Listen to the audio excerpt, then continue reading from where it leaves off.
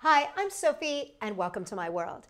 You know, I love making things out of duct tape and I love being organized and so I thought it might be fun to make a duct tape car caddy for you to keep all your stuff when you're traveling on the road. And here you can see I've got a cute little car caddy and it's got some coloring books in it and some paper and some puzzles and crayons and pencils everything that you could possibly need. Now, the great thing about this is you can personalize it for you and you can put on as many pockets as you want. Maybe you want to put it in your cell phone or maybe your device or whatever you have. You can make this for you. So I'm going to show you how to make this right now. Now, what we're going to need, of course, is some duct tape. I'm going to need a pipe cleaner, ruler, an X-Acto knife, scissors, two buttons, and a marker can come in handy. You might not necessarily need it, but sometimes it's good to have one. And I've made myself my fabric ahead of time here just to save in a little bit of time.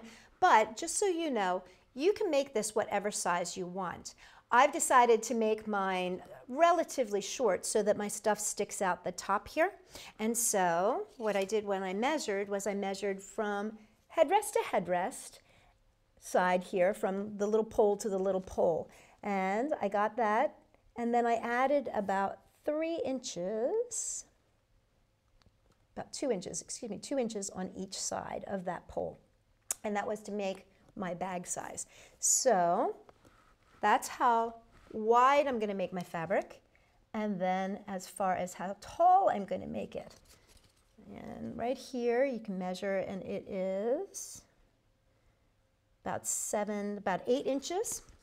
And this is about 10 inches. So I've made myself a piece of fabric that is actually 11 by 16. I've given myself a little bit extra just to have a little bit of play.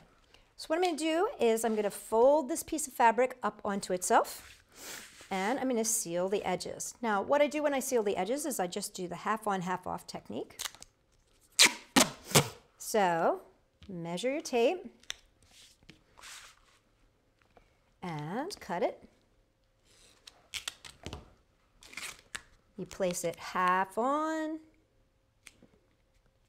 half off. I'll show you what I mean. Just like that. So see how it's half on the top part and half off. Flip it over and seal it. You're basically making a pouch. And there you go. You're just sealing it that way. And we're going to do the same thing on the other side. Half on and half off. Now, if you have any extra, just cut that off the edge there. Boop. Now here's my pouch. Now I can add whatever pockets I want to this. In fact, I'm going to add a pocket for some crayons and a pocket for some pencils. Now, again, this is up to you what you decide, but pull out whatever it is that you want to make a pocket for. And what you want to do is use it as a measurement, but give yourself at least a half an inch to three quarters of an inch extra on either side. And this is where I'm going to mark with my marker. And just going to cut myself a pocket.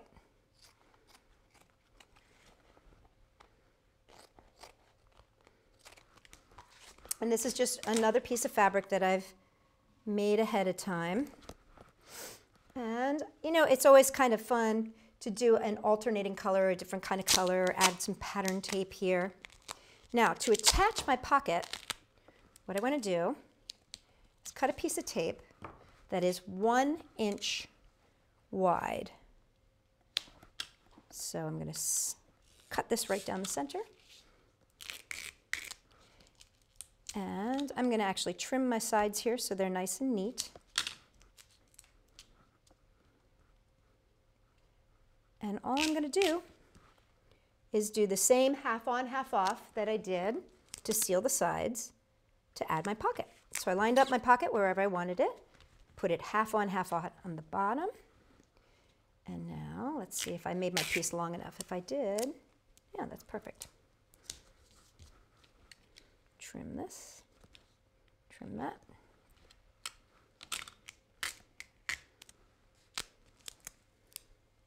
And I'm going to go right to the edge there. Oop. One nice thing about duct tape is if you accidentally put too low or not high enough or whatever, you can always pick it up and reposition because really it won't seal until you give it the good rub down here. There we go. So I'm going to rub that down. It's always great to just use the either a ruler or just use the pocket itself as your measurement. Get a good sense there. And once again, gonna do an inch. Oops, I think I got cut off there.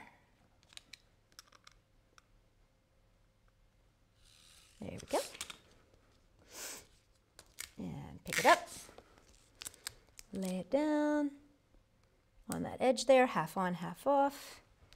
Now this is a little bit higher up and that's okay. I'll just come back with my scissors and give that a little trim. Doo -doo -doo. So that it's even. And now what I want to do is I want to, I don't want to seal up the top, but what I do want to do is come back and seal it this way, right across, but I'm going right to the edge there right to the very edge. I'm not going over and sealing it here. I'm going right to the very edge. And it's going to seal it onto this side and seal it onto this side, but still leave this open. Just gives it a little bit of extra to hold that where all that action is going to happen. Because, you know, when you put this in, that's going to take a little bit of stress there. So it's nice to have those edges get an extra added oomph. Now I could add another pocket there, and I could add tiny ones, big ones, whatever it is that I want. But now what I want to teach you is how to put the straps on, because the straps are kind of very, very important because there are what gonna, is what's going to keep it attached to your car. So what I'm going to do is I'm going to take about 12 inches to 14 inches of tape. I'm going to place it sticky side up. I'm going to make a strap. And to do this, all I'm going to do is fold this over onto itself leaving an eighth of an inch of sticky. See that? And then I'm going to fold that eighth of an inch of sticky over top to seal it so that I've made myself a little strap. Okay. Now, this strap is going to go right here. Now, here's something I'm realizing as i am doing this, what I'm going to do actually is I'm going to use my scissors. I'm going to snip this open because I want to make this as secure as possible. So I'm going to snip my sides open and fold them down.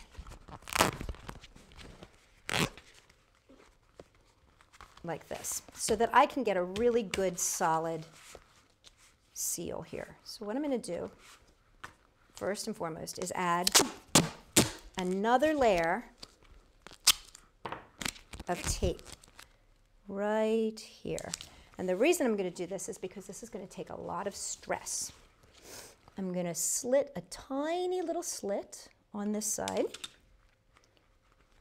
about a pinky's width down. And then what I'm going to do is slide my strap through. Right like that. And then I'm going to fold it up.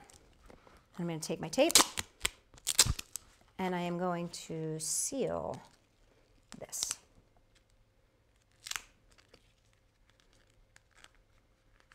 Really good and really solid. There we go. Now, this is going to go around this little pole here and it's going to connect to a button. So to do this, what I'm going to do is I'm actually going to add a button. And this is, again, why I wanted to add some extra. I just want to make sure that it doesn't rip through. So I'm going to add yet another piece over here, like that. And I'm going to add another little piece right here where my button is going to go. Now, to add my button, I just take my button and I'm going to take a pipe cleaner I only need about three inches. Slide the pipe cleaner through one hole and then slide it through the second hole, just like that. And then I'm going to give this a twist. And it only needs two twists like that. And then what I'm going to do is take my X-Acto knife and I'm going to measure down about a thumb width here. So right there, and I'm just going to make a tiny hole. It's not a very big hole, but it's a tiny hole. And I'm going to slide this through. There we go. Flip it over. And then I'm going to open this up on the back. Now, do you see how I've opened that up on the back? Now, opening up that on the back, I'm going to secure this. And don't get, oops, I closed. Whoop. Don't get worried about the fact that this is getting thick. That's okay because this is really, really important for holding this in and making sure that it can take any pressure. Now, to make my buttonhole, all I have to do is figure out how long I need my strap. And remember, I had made this like 12, 13 inches. You may want it tight, you may want it down low. Depends on, you know, how high up or how low up you want the, um, the pouch to be. But I'm going to actually give myself, oh, about right here. So about right there. Cut that off. And what I'm going to do is measure up. I'll use my ruler here. Measure up about an inch. And then I'm going to make a slit. And the slit is going to be about three quarters of an inch, just like that and then test it to see if that'll go around your button. It might need to be made bigger because this is a pretty big button. So let me just see. Yep, I need to make this a little bit bigger. And again, test it. Just make sure that it goes around. Okay, there we go. So that ended up being about, uh, about an inch and a half for my cut, but that's okay. Now here's the thing. I want to secure all around my buttonhole. So what I'm going to do is take my tape. You know what? I'm going to use a different color tape so you can see.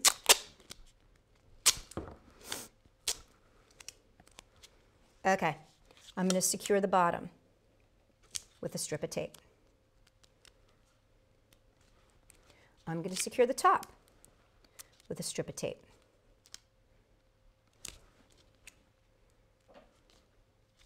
And I'm going to secure the sides with a strip of tape. Now remember, normally you'd be using the same type of tape, so this wouldn't, this wouldn't show. What I'm going to do is take this and put a strip on either side here. So as you can see, I stripped that down the middle there, cut that into basically a one inch width, and I put it on one side of the hole and wrapped it around so that it's on the other side of the hole. And then I'm going to go on the one side of the hole here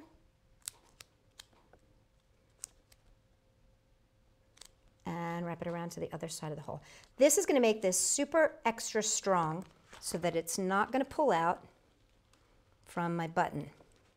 So then when I put it on here, it's going to be nice and strong. Okay, again, I would be using the same colored tape so that it wouldn't show. Now, I just want to make sure that my button is strong here and my button is strong here. So I'm going to take that tape again.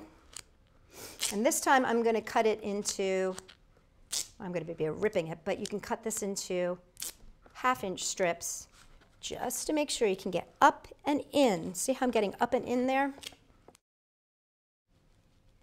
And up and in there. And up and in here. It's really important that you add that extra tape all around, any place that you would think that it could pull out, you add that extra tape. Now, you're basically ready to seal her up. Now, you would do a second one, of course, but I'm going to jump ahead here just so I can show you how you seal her up. Put that there. Ah, button goes on. There we go. So you're going to seal her up with a really fun piece of embellishment tape. And in this case,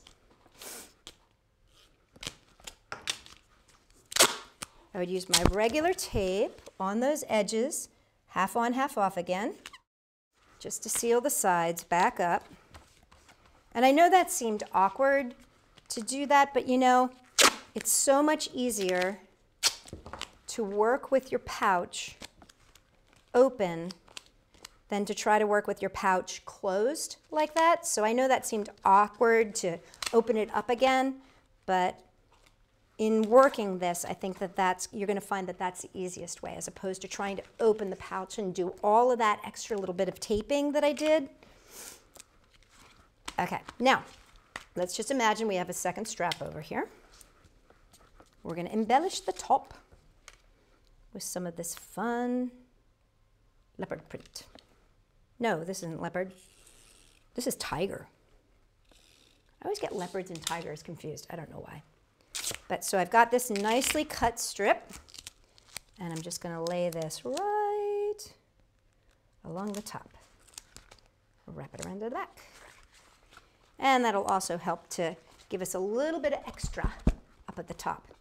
And that's all there is to doing a really cool car caddy. Now, here's something else that you should know though. Not only can you use it as a car caddy, you can add it as an extra pocket in these reusable bags that they're making us use in California. And I'll show you what I mean here. Let me just take this off so it doesn't fall. Take out our book. So see, you take this off, pop your little strap off your button, and you can put this into your bag by wrapping it around the strap here and the strap on the other side. So not only is it a car caddy, but it can also become an inside pocket for your shopping bags, your reusable shopping bags. So isn't that fun? You can have two projects out of one. There you go. See, and now you can take that shopping and you can keep your wallet and your cell phone and all that stuff and it's much more easily accessible than being down at the bottom of your bag. For more great ideas made out of duct tape and more, come check us out at sophie-world.com.